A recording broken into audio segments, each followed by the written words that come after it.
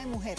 Así que capítulo 1 es... La actriz Carmen Villalobos sorprende a sus seguidores como villana de la nueva versión de Café con Aroma Mujer, que protagonizan los actores William Levy y Laura Londoño. ¿Quieres saber qué tan mala será como villana o cómo se verá con su nuevo look? Quédate a ver este video para que veas los detalles, pero después del intro.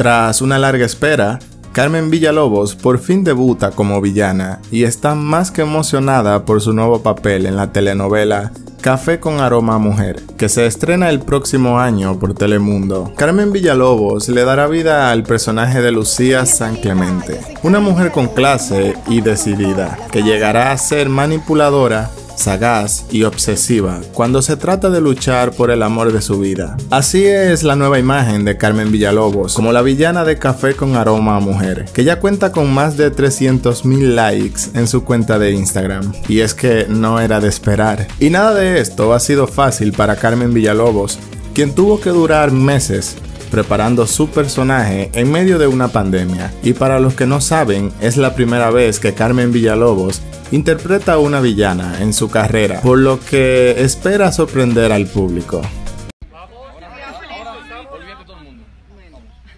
Ahora tenemos una duda que sé que muchos de ustedes también tendrán.